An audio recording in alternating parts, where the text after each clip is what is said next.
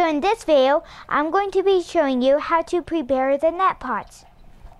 And so here, we have um, a wick, some net pots, a growth medium, and we're going to be using clay pebbles, some, a pair of scissors, and some sprouts.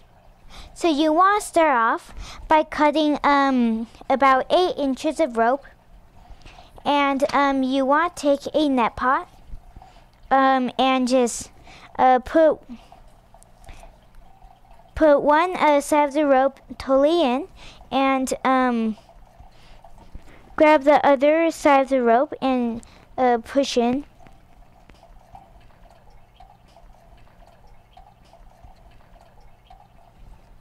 So now you want to um, have enough rope to touch the bottom of the wire and enough to just um, barely poke out, poke out the top of the um, net pot.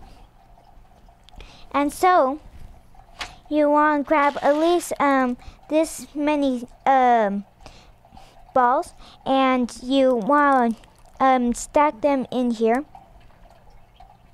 So then, um, cut a piece of rock wool that has a seed in it and that's sprouted and just uh, put it right in here and grab some other uh, clay pebbles to secure it and um, and then you're done.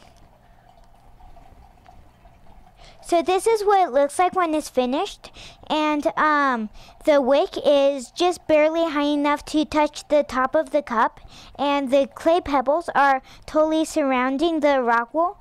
And the wick is long enough to get to the wire. So now I'm going to go ahead and um, put this cup directly um, into this hole. And make sure the wick is uh, coming the direction where the water is pouring. So it should be going this direction. So right now, um, the system is running and everything's good, but it has no intelligence. And I'm going to be adding that in um, using Arduino. It'll let you know uh, when the water level is low by changing color. Thank you for watching my video. Bye for now.